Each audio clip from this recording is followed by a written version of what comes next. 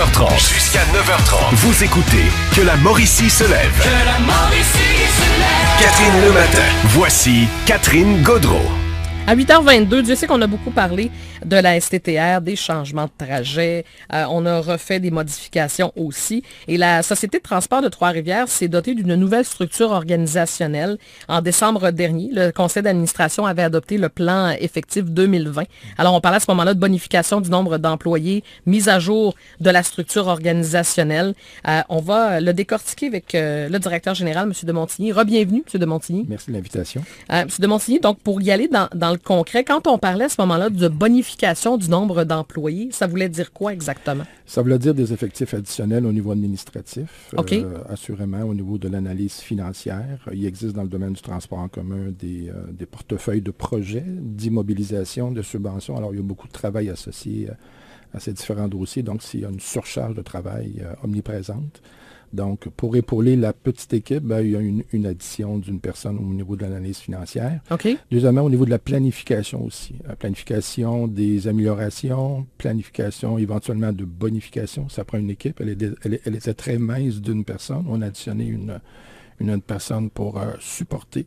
Ça, on Euh, parle de personnes cadres. En fait, oui, cadre. Pour nous, cadre, c'est soit syndiqué ou non syndiqué. On n'a OK. pas, nous, de levier ou de niveau de professionnel, exemple, non syndiqué. Alors, OK. euh, ce qui n'est pas chauffeur, ce qui n'est pas personnel de, de bureau d'entretien, le Mauricie se lève. Jusqu'à 9h30. Jusqu'à 9h30. Vous écoutez Que la Mauricie se lève. Que la Mauricie se lève. Catherine le matin. Voici Catherine Godreau.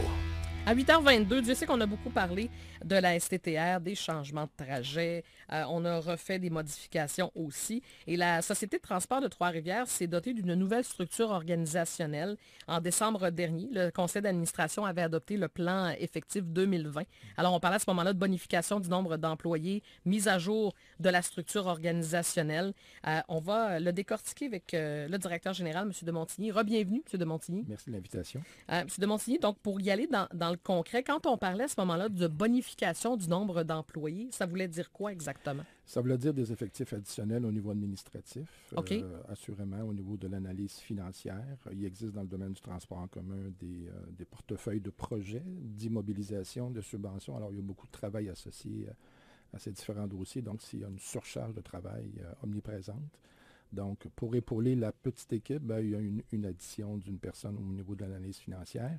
Deuxièmement, au niveau de la planification aussi. La planification des améliorations, planification éventuellement de bonification. Ça prend une équipe. Elle, est- elle est- elle était très mince d'une personne. On a additionné une, une autre personne pour euh, supporter. Ça, ça, on Euh, parle de personnes cadres. En fait, oui, cadre. Pour nous, cadre, c'est soit syndiqué ou non syndiqué. On n'a pas, nous, de levier ou de niveau de professionnel, exemple, non syndiqué. Alors. Euh, ce qui n'est pas chauffeur, ce qui n'est pas personnel de, de bureau d'entretien, le solde, ce sont, on appelle ça les employés cadres, à différents paliers. D'accord. Que ce Donc, soit directeur, que ce soit conseiller, que ce soit analyste, que ce soit contremaître ou répartiteur. Mhm. Pour nous, c'est les employés cadres. OK. Parce qu'on m'a remis Mhm. l'organigramme de, de la STTR. Donc, Oui. on vous voit bien sûr à la direction générale.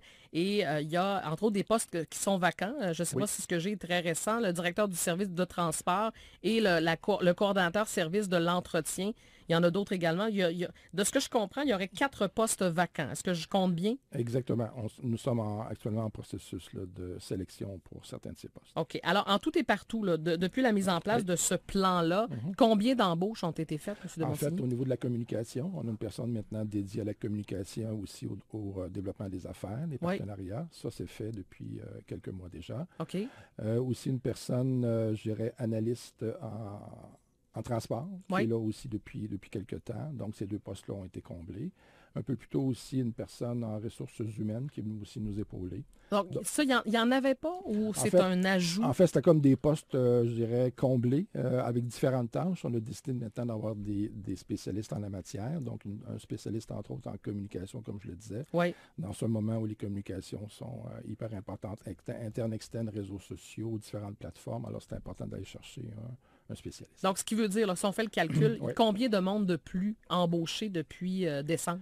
Depuis décembre, en fait, il y en avait déjà un petit peu avant. En tout cas, mettons, Ouais, depuis l'automne, trois- personnes. personnes. OK. Dans, dans l'organigramme, Oui. je trouve qu'il y avait beaucoup de monde. Puis c'est Oui. une impression qui est peut-être pas bonne.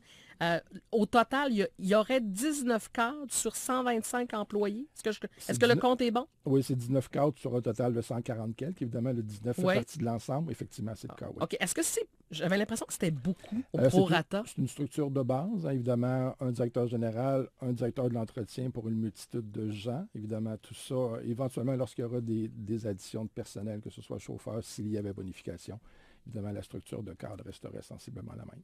Il y a un auditeur un petit peu plus tôt, M. de Montigny, qui m'a dit Je te confirme que le réseau de transport sera encore changé en mars 2020. Il dit donc qu'on recommence encore. Qu'est-ce qui sera changé et est-ce que l'information est bonne? Il n'y a pas de changement de prévu en mars euh, 2020. 2021. 2021, c'est une, une prochain. possibilité. Ouais, c'est une possibilité, OK. effectivement, qu'il y ait des ajustements qui soient... Des ajustements ou Oui. des changements importants? Des, des ajustements relativement importants. Comme Euh, quoi mais, Entre euh, autres au niveau des euh, transferts en période de, de jour. Mais pourquoi on attendrait à ce moment-là tout près d'un petit peu plus Ben, qu'un an? Il y a toute une question de confection d'horaires de travail. Il y a des périodes d'affectation d'horaires de travail très ciblées dans la convention collective et ça se passe à ce moment-là. OK. Alors donc, mars 2021, il va y avoir d'autres changements. C'est une orientation qui, euh, qui, qui, qui, qui est en ce sens. OK. Et qu'est-ce qu'on voit pour l'avenir, notamment? En mars 2021? Qu'est-ce qui pourrait changer ou est-ce qu'on doit pla- déjà plancher là-dessus, j'imagine? Évidemment, tout est une question de, de, De coûts? de coûts Oui. hein, et de budget disponible. On sera en processus budgétaire euh, cet été pour euh, l'automne aussi. Normalement, ça se fait à l'été et à l'automne, en espérant qu'il y ait des bonifications au niveau du service en 2021. Là, le budget, il est de combien là, c'est pour cette Aux alentours de 18 millions. De 18 millions? Oui. Est-ce qu'il est-ce qu'on en aura plus l'an prochain? On ne le sait pas encore. Bien évidemment, c'est souhaité. Nous, comme, euh, comme fonctionnaires, évidemment, on va faire des propositions. On fait des propositions sur des plans d'amélioration souhaités. Évidemment, il y aura un budget qui sera à ce moment-là euh, demandé. On verra quelle, quelle sera la réponse à ce moment-là de la ville de. Trois-Rivières. L- La majeure partie de ce budget-là, M. de Montigny, il va dans quoi?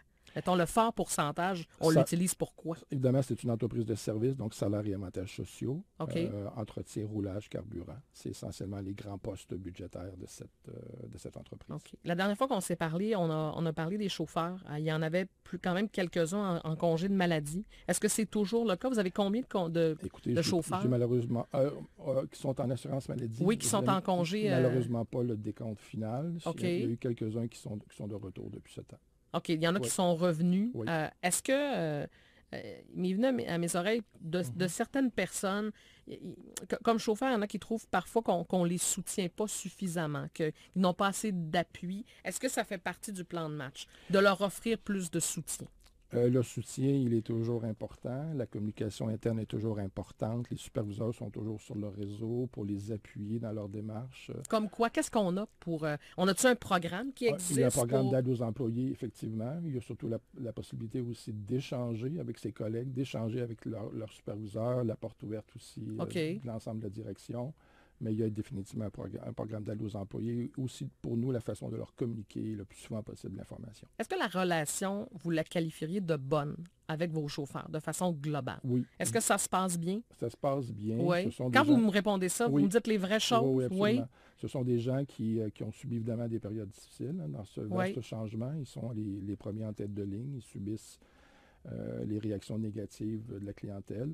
Ils font un excellent travail. OK. Mais est-ce que vous en avez fait assez pour ces gens-là? Considérez-vous que le travail a été bien fait pour les supporter dans tous ces changements? Ben, il y a toujours, euh, on peut toujours faire mieux. Je pense qu'un exercice euh, idéal euh, ou optimal, c'est toujours souhaité.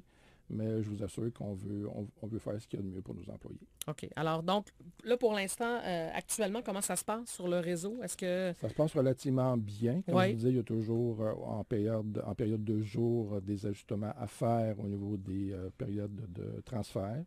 Il y a eu beaucoup de travail qui a été fait depuis le 5 janvier sur un certain Oui. nombre de lignes, sur les correspondances soir-week-end. Ça semble bien aller de ce côté-là. OK. Ça, ça s'est amélioré? Oui, absolument. Oui. Qu'est-ce qui reste, là, peut-être à travailler? Je vous dirais toujours la, la portion sud et nord de Câble-la-Madeleine, euh, les correspondances de jour, essentiellement là, les, grands, les grands chantiers possibles devant nous. OK. Donc, quand vous dites les correspondances de jour, c'est-à-dire qu'on ne respecte pas l'horaire? C'est-à-dire a- qu'il y a des euh, transferts qui pourraient mieux se faire. C'est l'ensemble de cette assiette-là de transferts qu'il faut analyser puis regarder comment on peut faire mieux. OK. Et qu'est-ce qui fait qu'en date d'aujourd'hui, que c'est pas encore réglé, cet aspect-là? Parce que c'est un travail de longue haleine. Oui. Il y a probablement aussi des notions d'horaire de travail qui sont aussi à regarder. Donc, c'est un travail qui nécessite euh, une analyse en profondeur avec, euh, avec de la donnée suffisamment claire et nette pour pouvoir faire une analyse. Parce qu'on me disait que le, le véritable problème, M. de Montigny, il est de jour. Que les soirs et week-ends, ça va. Exact. Ça, vous me confirmez? C'est ce qu'on a fait depuis euh, le 5 janvier comme modification, comme vous le mentionnez. OK. Alors, donc, de jour, il reste notamment dans le secteur euh, euh, du bas du Cap, Oui, surtout. en- entre la liaison entre le sud et le nord, et aussi l'ensemble des correspondances de jour, c'est c'est là-dessus qu'il faut qu'on mise euh, l'ensemble de nos efforts. Alors, pour les usagers qui sont dans ce coin-là, ils peuvent s'attendre à des améliorations quand? On va regarder ces, euh, ces ajustements-là, ça devrait être mars 2021. Merci, M. de Montigny. Merci à vous. Merci. Guy de Montigny, directeur général de la Société de transport de Trois-Rivières.